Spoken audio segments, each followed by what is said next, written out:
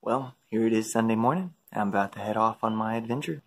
Gonna go on a little walkabout, starting off at Full Life Fellowship Church. I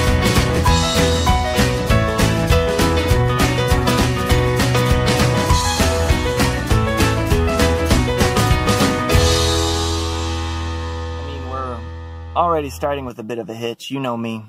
I was not entirely prepared for leaving this morning, so I was up until about 5 a.m. this morning getting ready and packing and everything. So, working on about hour and a half of sleep.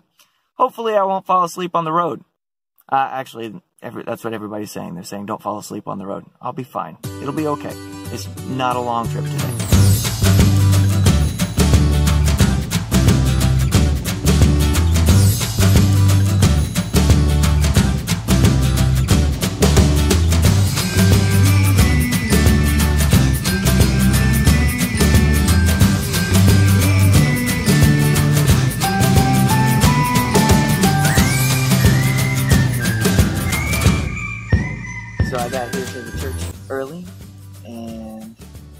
Kind of sitting out here enjoying the morning. It's pretty beautiful.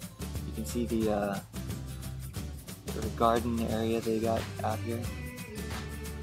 I had no no trouble with sleepiness despite all of your concerns uh, because I'm pumped to be on the road. I'm pumped to be done packing all my stuff and kind of moving on to the next thing finally. It's uh peaceful out here. Like peaceful.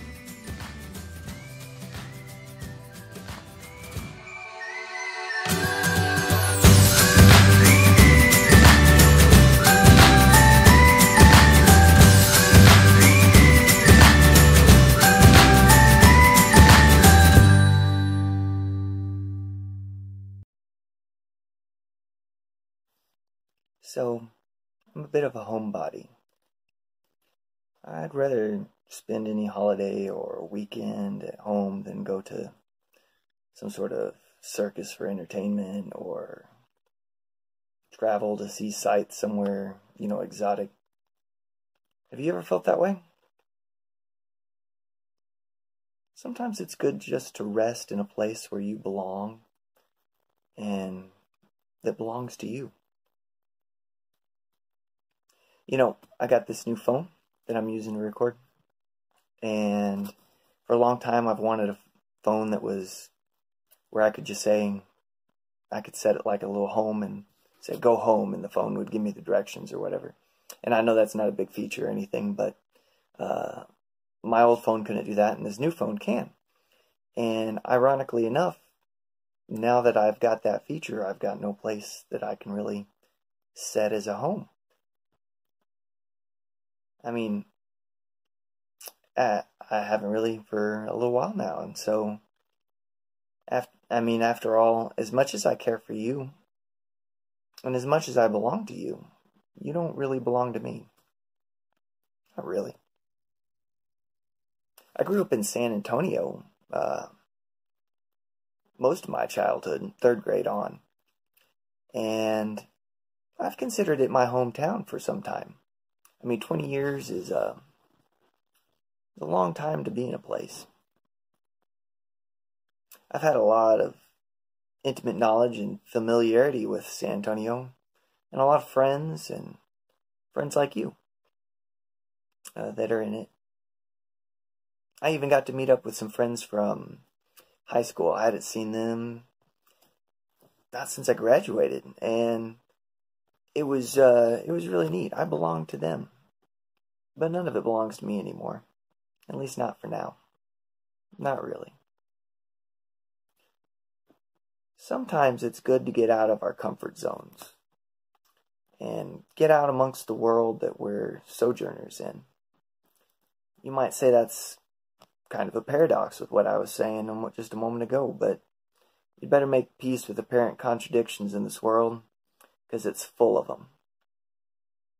Our Creator God is too infinite to have everything fall neatly into categorized boxes. So for now, I'll be setting my current location and my current destination as home. and making my peace with belonging to places that don't really belong to me.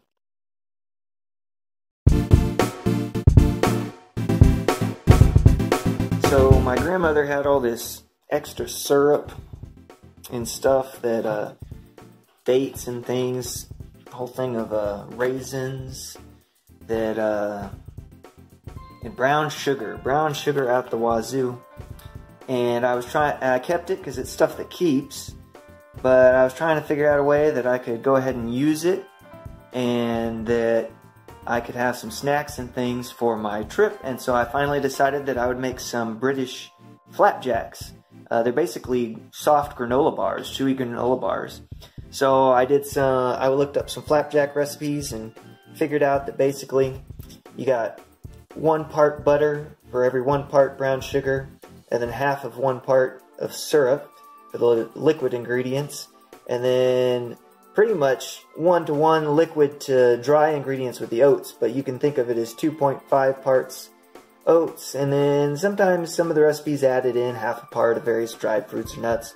So I looked at what I had, and I came up with three types that I'm going to make. I'm going to make some some golden granolas, and I'm going to make some basically using all the all these uh, packets and, and this this little section over here is going to be another one, and I'm, I'm calling it the, uh, the sort of dark and chewy, I guess, because it's using the dark corn syrup, but it's going to also have the flavored uh, oatmeal a little bit.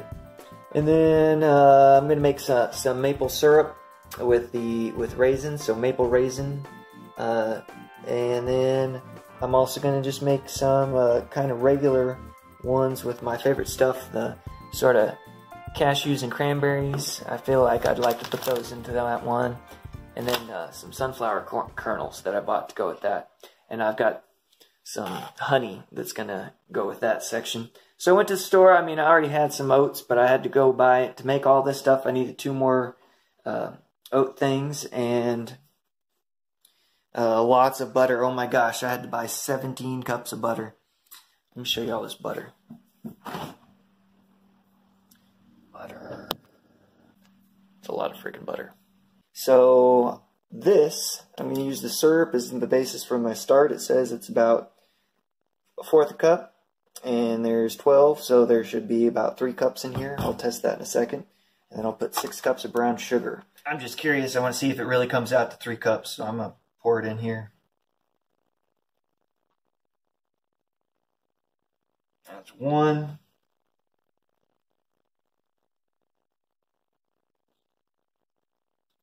to just about three.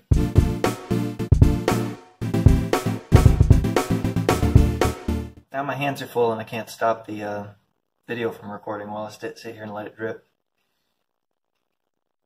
Do do do do do.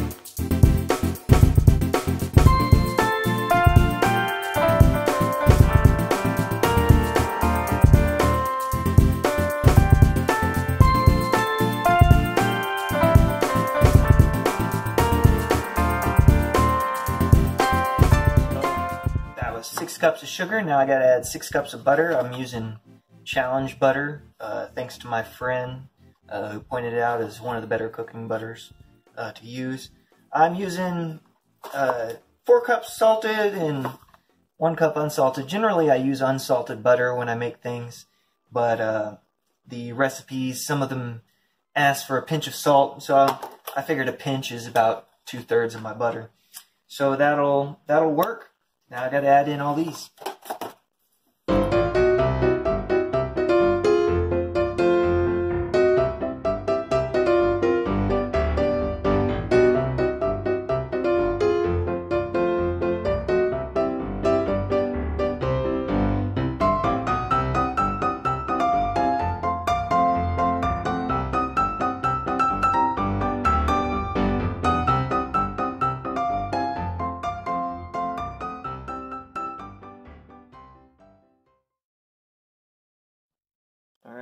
Got my granola all set up here with my raisins and a little bit of dates. I'm just waiting for this butter to finish melting. Then I'm going to mix it in there. I think I'm barely going to be able to fit it inside. This is my biggest batch, so if I can make it work for this one, I can make it work for the rest.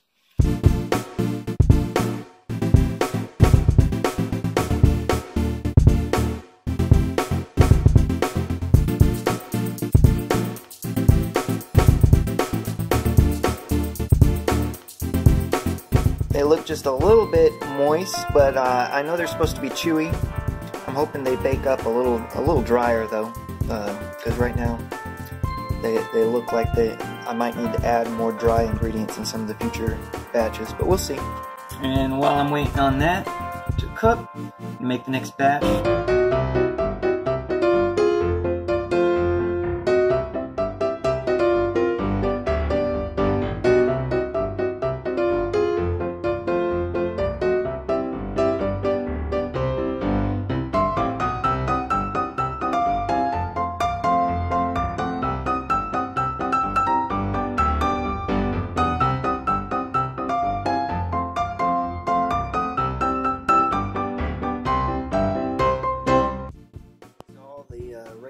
Floated up to the top, and there's lots of butter that kind of came up with them, but now it seems to be soaking back in into the bars.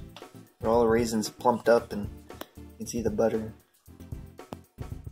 So I definitely decided as I tried more and more batches to lighten up on the butter and increase the amount of oats. And, and they take a long time to cool. They come out and they're all very gooey, and you gotta let them cool and then cut them up and then let them cool a lot more before you try to pull them out.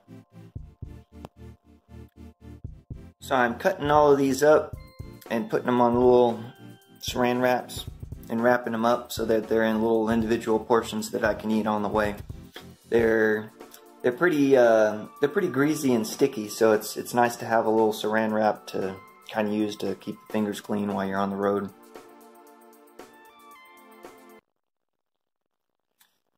Drip, drop, little maple shower. Dee, dee, dee, dee, dee, dee, dee, dee, dee. Drip, drip, drop, little maple shower. Deep, deep, deep, deep, deep, deep, deep. Hum, dee, dee, dee, dee, dee, hum, dee, dee, dee, dee, dee. I just got done shining my boots, polishing them all up. I considered not bringing them because I got too much stuff already, but wearing boots is just kind of something a Texan does, and can't really go off to the west coast with all those hippies out there and not have my boots, right? Uh, they've been, they've been needing a good shoe polishing probably all year, and I like to uh, I like to keep up with that sort of stuff, but uh, not really kept up with it uh, this year with everything going on and but I hadn't forgotten about it. I was constantly thinking, "Oh, I got to polish these boots. Oh, I got to polish these boots." Finally got around to it. And I just want to let you guys know that um, I haven't forgotten about you either. I think about you a lot, and uh, you're in my you're in my thoughts and often my prayers. I hope you're all doing well.